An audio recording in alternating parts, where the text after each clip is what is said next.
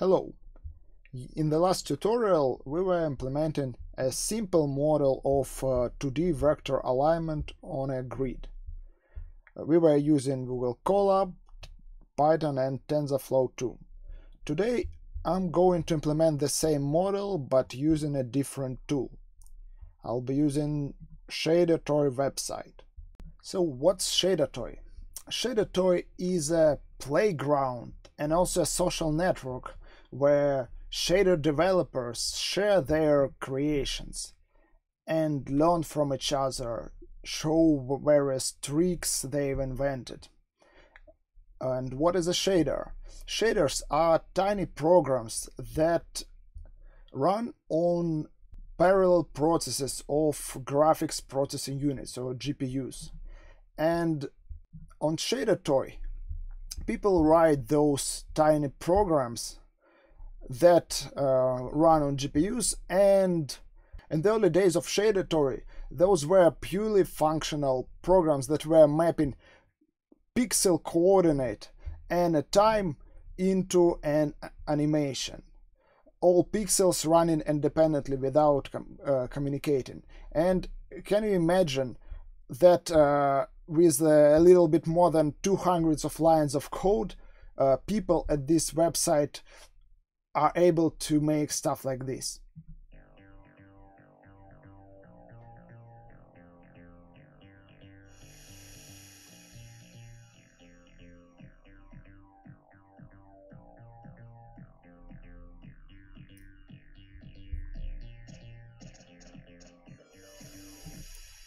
So the visual here is implemented in this program that I'm scrolling through. And um, all it takes is current pixel coordinate and uh, the current time in order to produce this visual. And this massive parallel programming model is something that uh, changed my perception of computing a little bit, well, quite a lot when I learned about it. Uh, this website was created by a person whose name is Inigo Quilez. I hope I pronounce it right. And uh, he has a website that contains a lot of resources um, that uh, you can learn shader programming from. Uh, a lot of articles on computer graphics and also there are some video tutorials. So um, I think that knowing uh, shader programming is very useful for anyone who is either in parallel computing or in data visualization. Because this uh, knowing this these languages uh, well ShaderToy uses GLSL gives tremendous flexibility and uh, power. Well uh, one of examples that I was uh, using uh, is uh, this this visualization that we made together with uh, Nicola Pezzotti, who was my intern back then, uh, that uh, was showing the relationship between 3D model space and UV coordinate space in this animated transition that made the process very intuitive. This was uh, a part of our differentiable image parameterizations publication. Later, the computational model of Shader Toy was extended with uh, full um, with off-screen buffers that allow pixels to have some state that evolves uh, between the frames, and this uh, opened uh, ways for simulating various physicals or self-organizing systems. And this is one of examples uh, recent examples that shows uh, some cells that emerge from uh, background and then they traverse the space and uh, collide with each other, change their directions, look very lifelike. So this platform is very useful for uh, quick hacks and experiments like this or for various visualization experiments. Now let's proceed to coding by creating a new shader. You see that I'm already logged in into the platform and while programming I'll be explaining some features of shader toy. So the new shader consists of a single function that takes pixel coordinates and must produce the uh, pixel or fragment color for uh, each uh, pixel on screen. And this function is evaluated for all pixels independently. It can get information about environment from some uh, predefined variables that are called uniforms and uh, one of them is screen resolution another is uh, current uh, time value and actually by pressing this question mark sign we can get information about uh, language and also the list of input variables. So for example current time and uh, number of the current frame. Also we can get information about mouse position um, there are additional ways to get environment information such as keyboard information or audio input but they implemented through texture lookups. So uh, we can tweak those uh, this source code like let's multiply this uh, value by 20 and see what happens. We increased the frequency the spatial frequency of those uh, cosines that were displayed on a plot. And now this is a stateless purely functional program.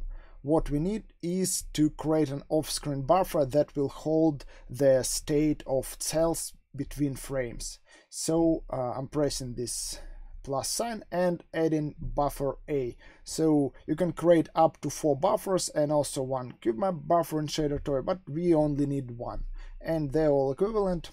So uh, now we want to display the contents of buffer A on an image. So we need to connect the channel 0, texture channel 0 of our image shader to buffer A. We do it by selecting buffer A in this window and closing it. So now we can get access to buffer A by uh, treating it as a texture. So we can replace this by a texture lookup. We now see that the screen is filled with blue color and the reason is that uh, the buffer A in is uh, filled by blue color. So uh, for channels RGB for blue and A is for alpha, but alpha we don't see it here. So this means that uh, we can store up to four po floating point values uh, for a pixel in uh, in a single buffer. And we may have up to four buffers uh, on shader toy. Now here we are reading the channel 0 that assigned to buffer A and we are using UV coordinates for uh, the current pixel. Now let's uh, initialize this uh, buffer with some random vectors. And uh, GLSL, the language is used that is used for shader programming, doesn't have uh, random function. And the way random functions are generated uh, in shader programming are hashes. So let's uh, let's find some good hash functions uh, for us and this shader by Dave uh, Hoskins is a very good reference. Oops. Uh, is a very good reference for various uh, hash functions uh, that are useful as random number generators on shader toy. So uh, hash function takes uh, pixel position and produces some noise like value and there is a number of variants of these functions uh, that uh, differ in the number of dimensions of the random uh, of the coordinate vectors they receive and the number of random values random value channels they produce. So um, for example if we take the function that uh, takes uh, three input and produces one output and uh, copy it in our shader for buff buffer A.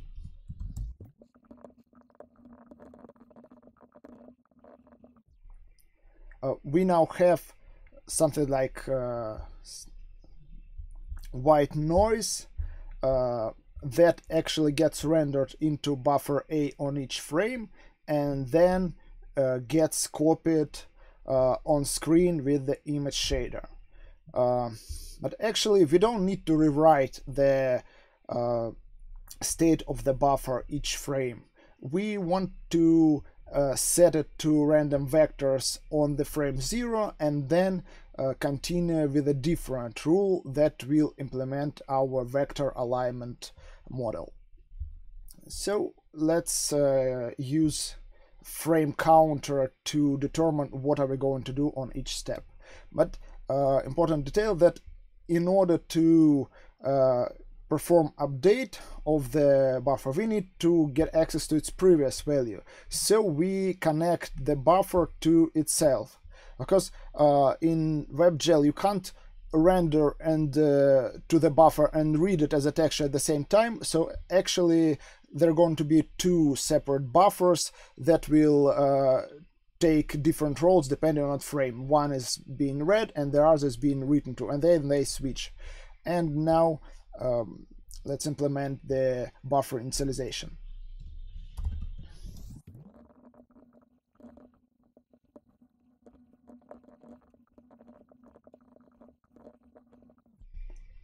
Okay, now we see that our pattern become static because we uh, we only generate random uh, numbers on the frame zero. We set the fragment color to the random value and return. Otherwise, we are just copying the color value from the state of the buffer on the previous iteration. And uh, for demonstration purposes, we may do something like uh, let's uh, read a previous buffer state and then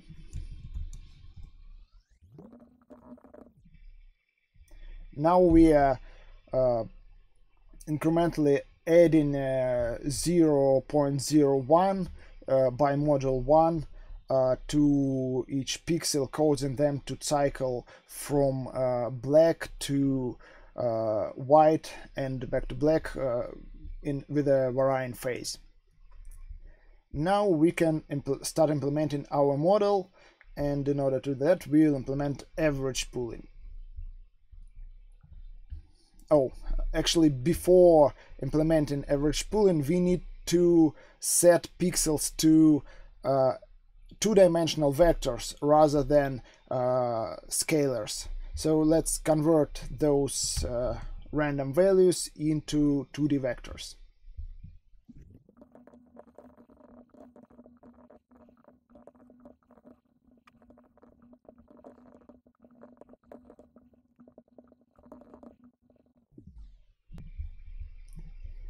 We need to restart the shader so that it um, get back to the frame 0 and let's uh, remove our colored cycling. So now uh, red and green channels of the grid contain the cosine and sine of alpha correspondingly. We may uh, implement the mapping of vector directions uh, to RGB that we were using uh, in our Colab tutorial in our image visualization shader. So we can multiply the result of texture fetch by 0.5 and add 0.5 now we have similar colors on visualization. Um, let's proceed to implementing the model of uh, vector alignment. First do average pooling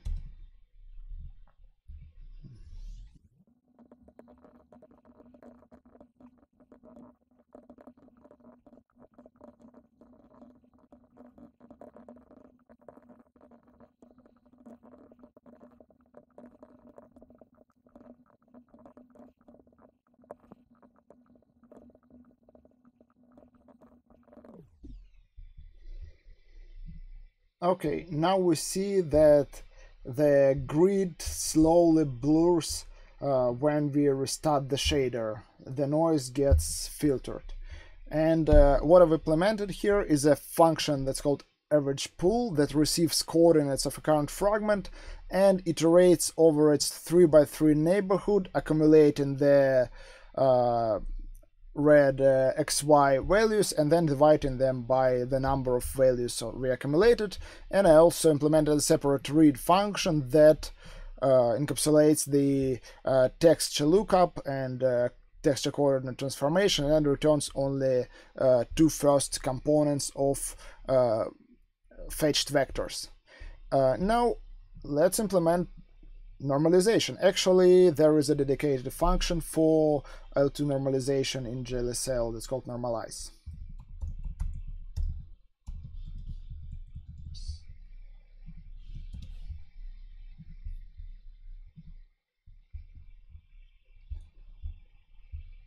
Yeah, that's all it took to implement uh, almost exactly the same model that we had uh, in Colab and TensorFlow. You see that we are really uh, working at way lower level here we are manually implementing those primitives but on the other hand we get much greater flexibility for example uh, you may remember that i told that uh, the uh, aligned oscillators, phase aligned oscillators models that were, was computing nonlinear operation across uh, each uh, pixel neighborhood uh, is much trickier to implement with TensorFlow, but it's actually very easy to implement with GLSL. We have direct control on the uh, data access and operation that gets performed for each pixel you may notice that there is some strange symmetry that we are observing in this region around this diagonal and well don't know exact reason but probably well the the reason is uh, imperfection of our hash function that is not producing completely random values. For some reason i don't want to dig too much into details uh, of why it's happening but as a quick fix i'll just uh, add a couple of large random values, well, large constants to shift us away from this um, region around zero. Let's see how it, oops, back two. Let's see how it works for us. Well, looks, uh, at least I don't observe any symmetries now that's a good moment to save our shader and that's uh, all I have for today. Here is a URL of our new shader. Uh, thank you for listening, hope it was useful and in the next tutorial I'd like to show how to um, make zoom in effects to closely uh, explore the states of cells in a visualization shader. So thank you again for attention.